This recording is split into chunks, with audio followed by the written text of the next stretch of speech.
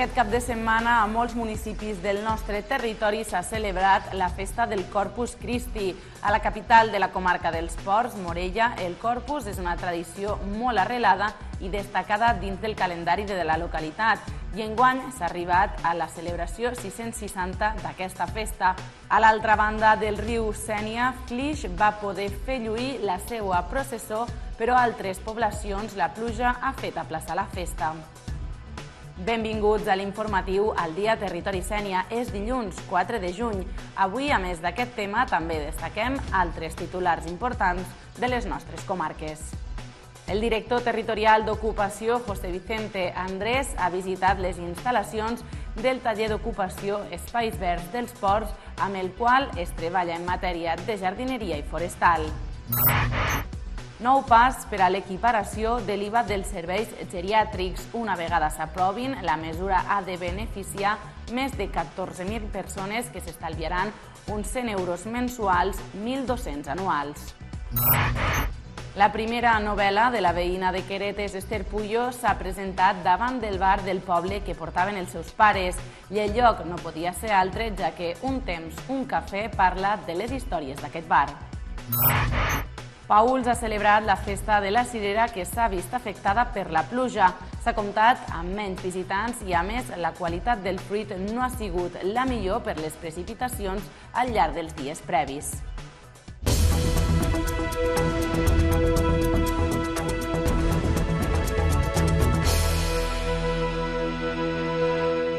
El Corpus de Morella ha arribat a la 660 edició, una de les processons en honor a la festa de l'Eucaristia més antigues de la comunitat valenciana que data del 1358.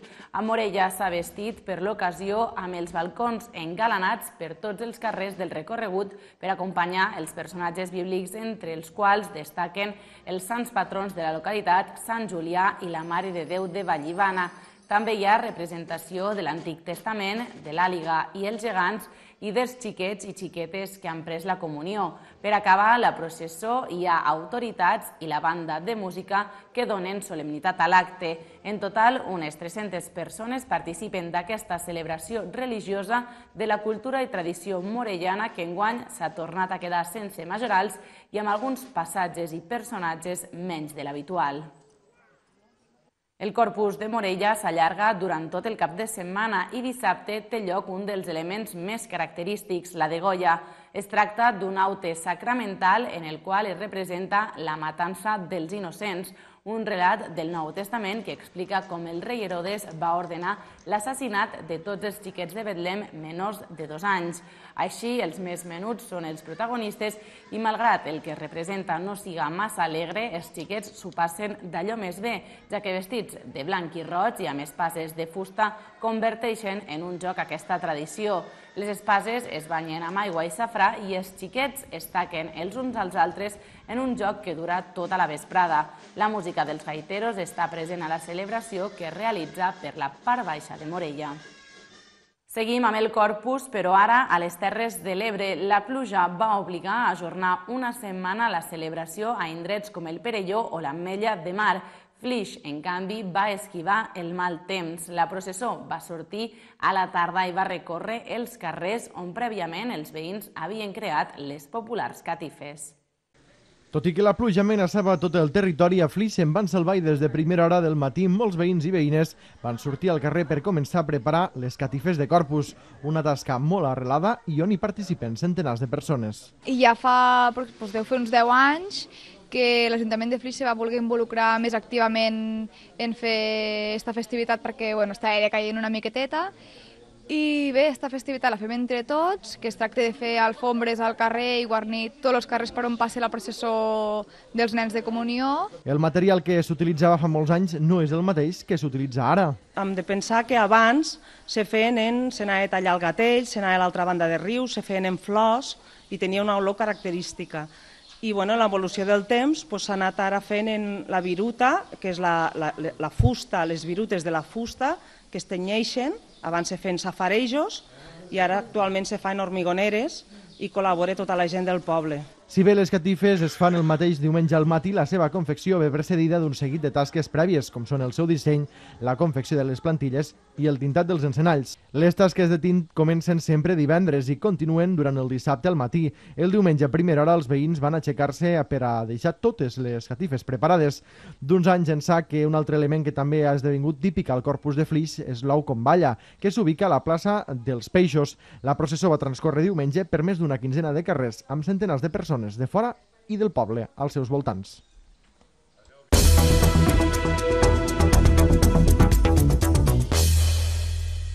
El taller d'ocupació Espais Verds dels Ports té les seues cinc torres on es fan les classes de teoria, de jardineria i forestal i també s'aprofita per fer pràctiques al Jardí Botànic. Aquest taller d'ocupació està impulsat per la Generalitat Valenciana i per veure com funciona el curs, el director territorial d'ocupació, José Vicente Andrés, ha visitat les instal·lacions formatives i els alumnes treballadors. El director territorial d'ocupació, José Vicente Andrés, ha visitat Cinc Torres per fer seguiment del taller d'ocupació Espais Verds dels Ports i també de les brigades que s'han pogut muntar al municipi gràcies a programes com l'EPAMER o l'ENCORP. Aquesta iniciativa pretén, a banda de donar formació i ocupació, lluitar contra el despoblament. En definitiva, el que estem fent a través d'aquests programes o projectes és ficar les polítiques actives d'ocupació del Consell de Ximo Puig al servici de les persones. Estem ficant, han prioritzat l'ocupació eh, per damunt de tot i el que s'està fent també és recolzar els ajuntaments menuts que estan patint del problema de la despoblació d'alguna manera a afrontar amb esperança el futur, intentant que no se les siguen pobles eh, per a visitar, sinó que siguin pobles per a viure. Durant la jornada, el director territorial ha visitat les aules de formació per veure els alumnes i el funcionament teòric del curs, un projecte en el qual s'ha invertit més de 350.000 euros en tot l'any 2017. No és sols reduir la, de, la desocupació, el paro en un poble com Cintorres, sinó que és d'alguna manera intentar entre tots crear ocupació, crear activitats econòmiques i d'alguna manera crear eh, serveis que faciliten la vida a les persones que d'alguna manera aposten per seguir vivint en Cintorres. Eh, d'alguna manera apostar per, per la població que viu a les comarques d'interior eh, que tenen especial dificultat per a fixar la població i donar una perspectiva de vida a la gent jove. Amb els treballs dels entorns naturals s'aconsegueix cuidar el paisatge, tal com s'ha pogut comprovar en la visita al Jardí Botànic, on es conserven múltiples espècies de flora diferents i, a més, es crea ocupació i es fixa població. La natura com a recurs turístic fràgil i quina és la gestió més adequada de les destinacions turístiques són alguns dels aspectes que s'han tractat durant les jornades de les oficines de turisme de Catalunya. Les Terres de l'Ebre són el segon any que acullen aquesta trobada professional de contingut formatiu. Enguany, a Camarles i l'Ampolla, mig centena de professionals del país van combinar les sessions acadèmiques amb les pràctiques i la descoberta de racons amagats de casa nostra. Les oficines de turisme de les Terres de l'Ebre són una referent a nivell de Catalunya i algunes són les que compten amb més seguidors a les xarxes socials. La millor de tot el país és en concret la de l'Ametlla de Mar. La segueixen al Facebook 56.894 usuaris. Eh, a l'Ametlla de Mar, que és un autèntic referent a Catalunya, és el municipi que més seguidors té a les xarxes, com fan aquesta feina des de l'oficina de turisme per haver-se convertit en un autèntic referent. A, a, tot això el que fa és que ens convida a aprendre dels nostres propis companys. Camarles va acollir la setmana passada una de les moltes activitats en el marc de la jornada de les oficines de turisme de Catalunya, una jornada que va servir per generar coneixements del contingut i de les propostes d'aquestes oficines a través de converses entre tècnics i tècniques que ho gestionen. Passar de l'oficina de turisme analògica, la de tota la vida, la que semblava que era simplement un expenedor de, de mapes, a la del segle XXI, on, on les eines digitals han de ser molt importants, és obvi. Però la reflexió final que es fan els experts i que ens fem nosaltres com a treballadors del dia a dia és que sense les persones no hi ha activitat turística. Una de les qüestions que més preocupa al sector és la revolució de les xarxes socials i la manera de com adaptar-s'hi, una feina que encara portarà uns anys. A falta de saber el camí que segueixen els pressupostos generals de l'Estat, que s'han de ratificar al Senat amb el nou govern del PSOE i el PP a l'oposició, els comptes van donar llum verda a un nou pas per a l'equiparació de l'IVA dels serveis geriàtrics. Una vegada s'aprovin, la mesura ha de beneficiar més de 14.000 persones que s'estalviaran uns 1.200 euros anuals. Recordem que les persones amb un grau de dependència reconegut poden optar a una prestació econòmica vinculada a un servei, com l'ajuda a domicili, centre de dia o residència assistida. La mesura afecta als usuaris d'aquesta prestació amb un finançament públic mínim del 10%. Fins ara només s'aplicava una reducció a aquelles que tenien el 75% de finançament públic. Els impulsors de la mesura, el Círculo Empresarial de Atención a Persones i l'Associació Catalana de Recursos Assistencials demanen l'equiparació de l'IVA del sector total, ja que ara queden al marge les persones situades en llista d'espera i les que accedeixen a serveis privats.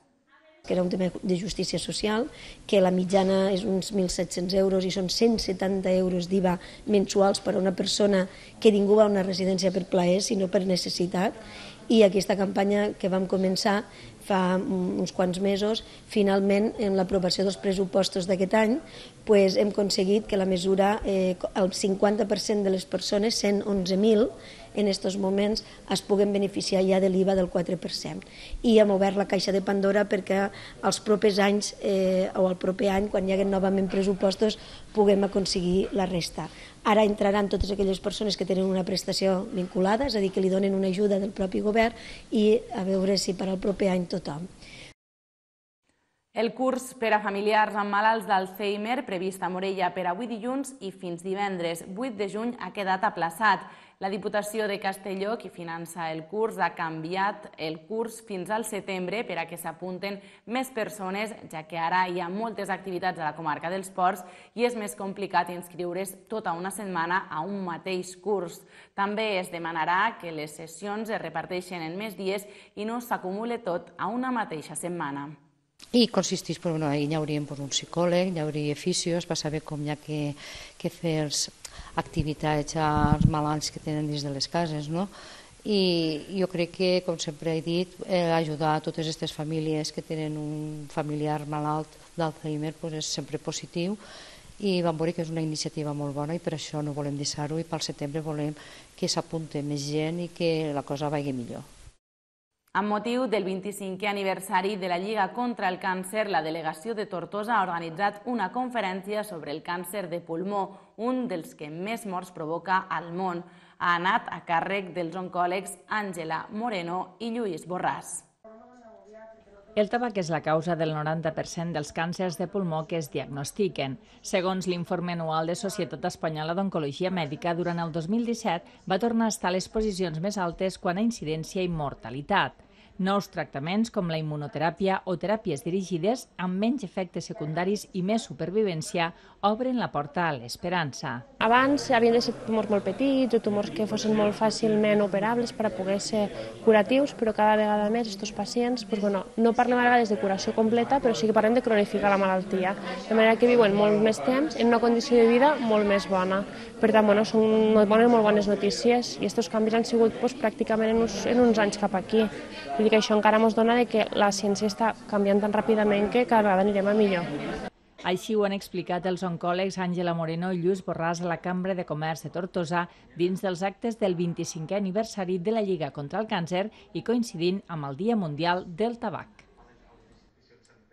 Esther Puyo, escriptora novella de Queretes, va presentar el seu primer llibre titulat Un temps, un cafè. Es tracta d'una novel·la que recull les memòries de l'autora durant l'època que la seva família regentava el bar d'aquest poble. Per aquest motiu, la presentació es va fer allà mateix, a l'aire lliure, en l'escenari on transcorren les històries que es narren al llibre. Un temps, un cafè és la història d'una família que portava el bar d'un poble rural a la dècada dels 70.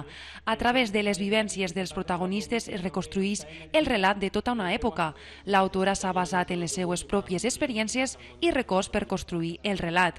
Este llibre són unes memòries novel·lades de l'època en què la meva família portava el bar d'aquí de la plaça. I no res, és un recull d'anècdotes, de vivències també d'explicar una mica com era la vida en aquell moment a, a, al poble, eh, a, a la zona i en general a Espanya, no? com era una mica l'Espanya d'aquella època, que va des de l'any 73 al 84.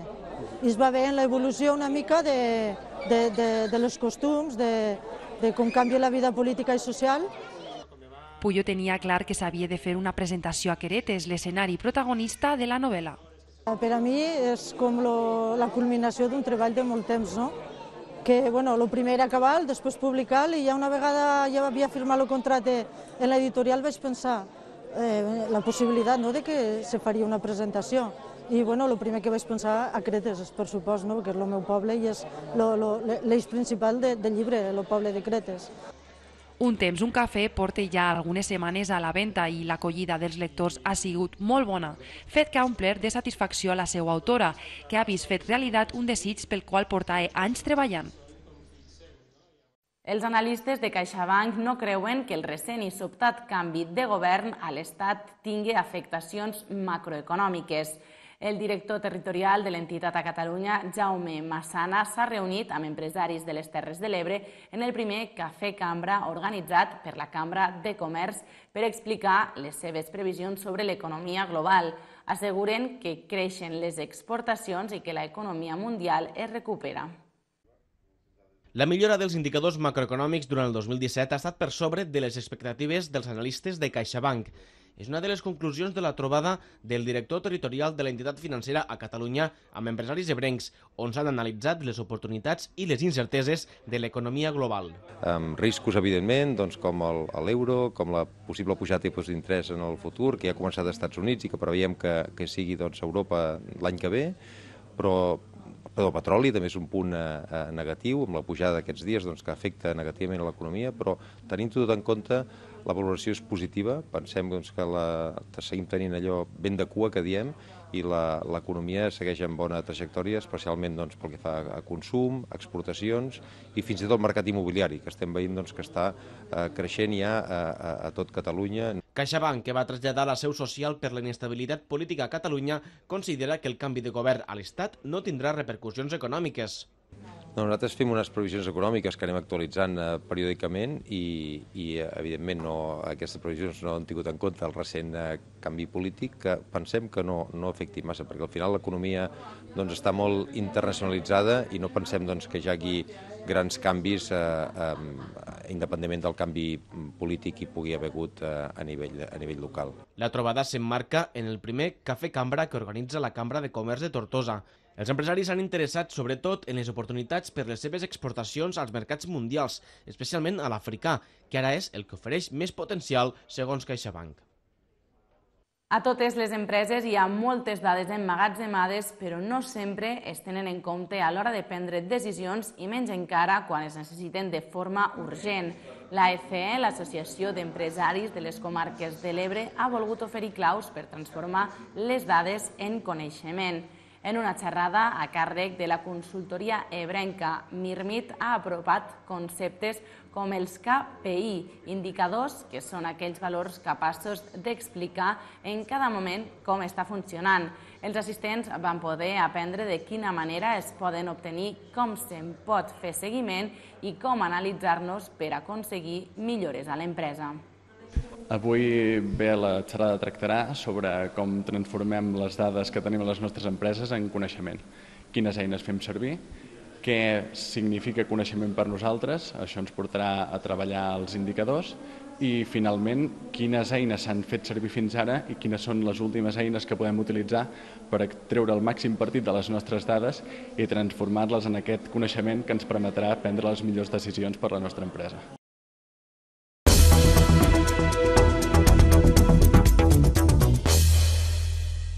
CUP farà llista per presentar-se a les municipals de Deltebre del 2019. És la decisió a la qual han arribat després de sometre-ho a votació en una assemblea aquest cap de setmana. Posen així en valor la tasca d'oposició feta al govern de Lluís Soler, segons diuen els únics que realment han adoptat aquest paper durant el que portem de mandat.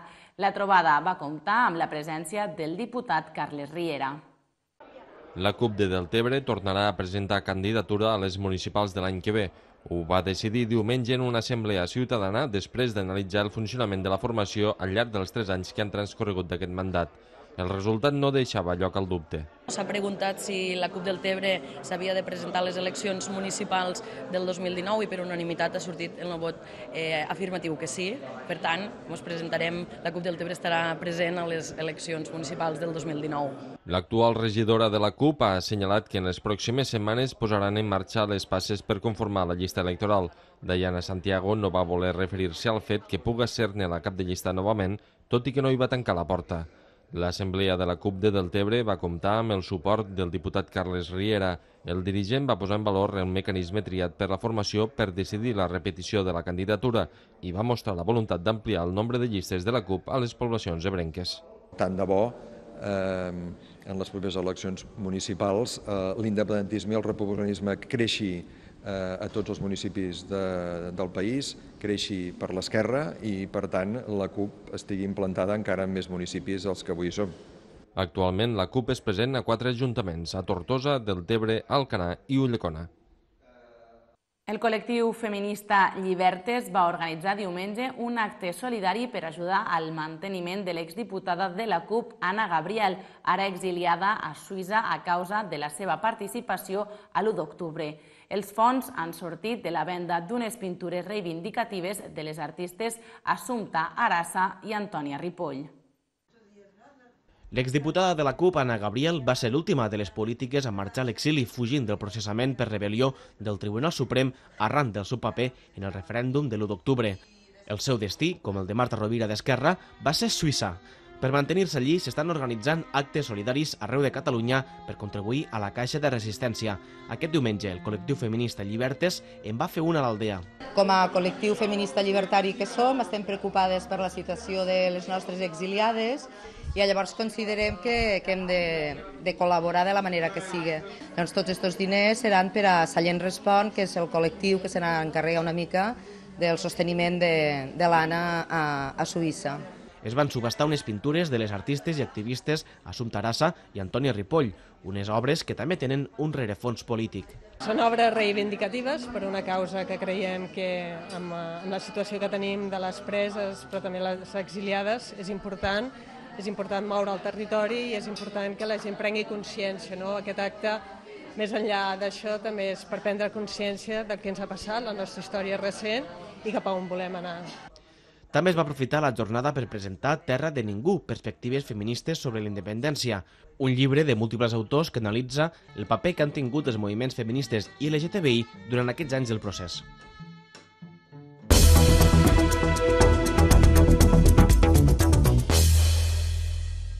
La pluja s'ha conjurat per mirar de fer la guitza a Pauls, que aquest cap de setmana ha viscut un dels moments més àlgids del calendari, la festa de la Cirera.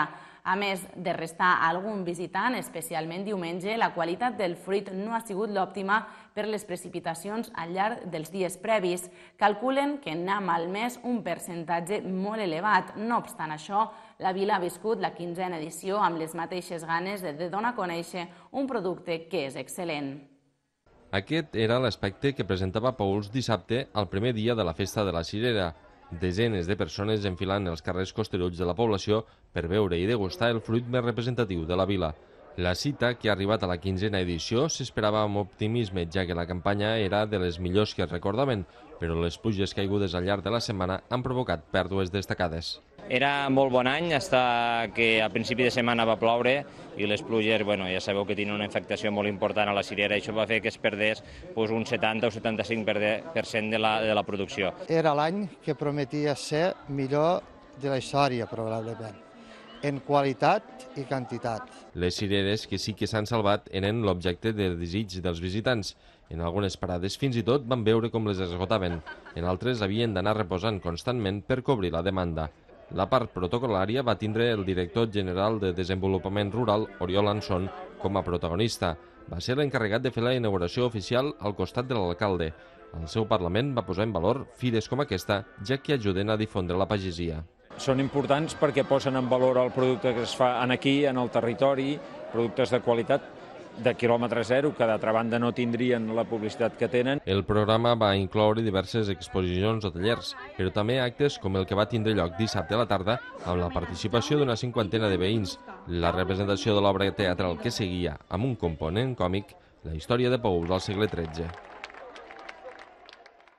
La colla de nanos i gegants de Vinaròs ha ampliat la família aquest cap de setmana amb la incorporació de dos gegantons. Els actes de presentació d'aquestes dues noves figures, que encara no tenen nom, van tindre lloc a la plaça parroquial enfront de l'Ajuntament i va haver-hi una cercavila on es va poder comprovar com ballen els nous gegants de la colla. Aquesta nova parella de gegantons són una mica més petits que els habituals i tenen un pes inferior. Ha estat realitzada pel mestre escultor Toni Mujal de Cardona, a Barcelona. Encara no els han posat nom. Per aquest motiu, l'entitat demana la col·laboració dels veïns. Ficarem les dates eh, hasta festes, estaran els gegants exposats al mercat, doncs la gent podrà passar i votar i ficar els noms a, als gegantons. L'alcalde de la ciutat, Enric Pla, va agrair la tasca que duen a terme la colla de nanos i gegants de Vinaròs i va animar a participar els veïns en l'elecció dels noms dels nous components. Agrair, com sempre, a la colla de nanos i gegants el treball i la tasca que fan per mantenir aquesta tradició, una tradició tan lligada eh, a l'Ajuntament durant molts anys i que gràcies a ells es pot mantindre i no només mantindre sinó també ampliar. 5, 4, 3, 2, 1, 0.